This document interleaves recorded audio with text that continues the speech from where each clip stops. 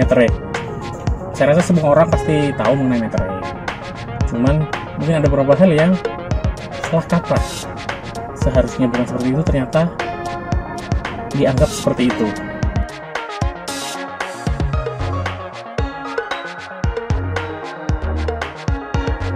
gagal paham, dan salah kaprah mengenai meterai. Ada beberapa hal yang fakta dan ada beberapa hal yang hanya hoax saja mengenai meterai. Oke, uh, kita lihat satu persatu.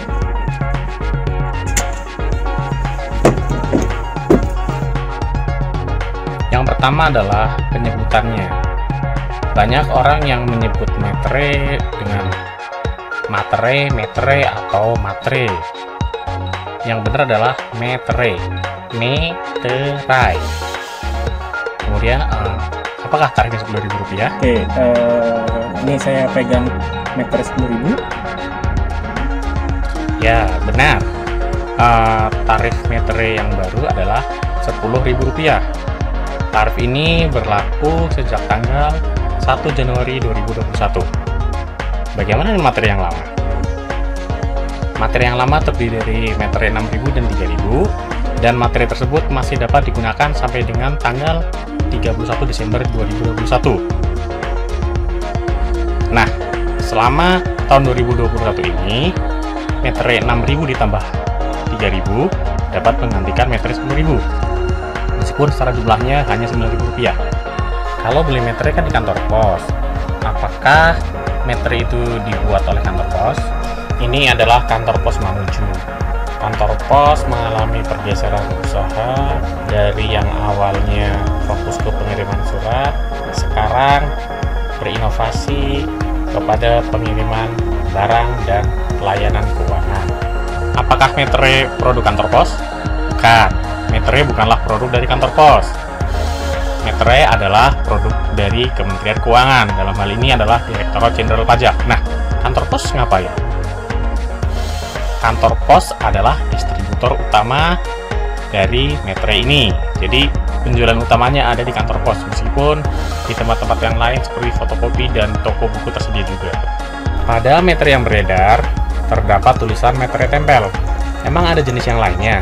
E, metre yang dikenal secara umum adalah metre tempel akan tetapi, selain meterai tempel, ada beberapa jenis meterai yang lain. Jadi bukan hanya meterai tempel saja.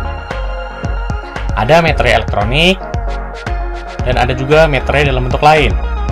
Meterai dalam bentuk lain ini e, bisa dihasilkan dari mesin teraan meterai digital, sistem komputerisasi, teknologi percetakan, atau dengan sistem dan teknologi yang lainnya. Dokumen apa sajakah yang perlu dibubuhi meterai? Yang pertama adalah dokumen yang menyatakan jumlah uang lebih atau sama dengan 5 juta rupiah. Yang kedua, surat perjanjian, surat keterangan, surat pernyataan.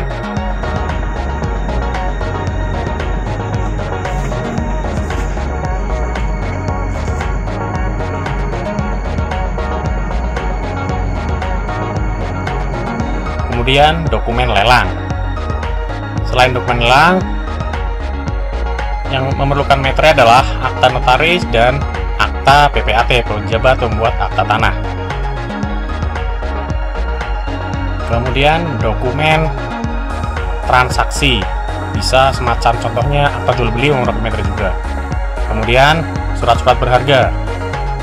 Contohnya adalah sertifikat atau surat tanah dan lain sebagainya. Apakah ada ancaman hukuman untuk manipulasi metre seperti meterai palsu contohnya. Meterai yang asli, teksturnya akan terasa saat diraba. Hal itu tidak terdapat pada meterai palsu. Ada hukuman berupa kurungan penjara dan denda terhadap penyalahgunaan meterai. Hukuman bagi yang membuat dan mengedarkan meterai palsu adalah 7 tahun penjara dan denda 500 juta rupiah. Dan bagi yang dengan sengaja menggunakan meter yang telah terpakai, ancamannya adalah 3 tahun penjara dan denda 200 juta rupiah. Jika dirasa bermanfaat, silahkan like, komen, dan share video ini. Silahkan share jika dirasa ini akan bermanfaat bagi yang lain. Dan jika berkenan, silahkan subscribe channel saya ini. Terima kasih.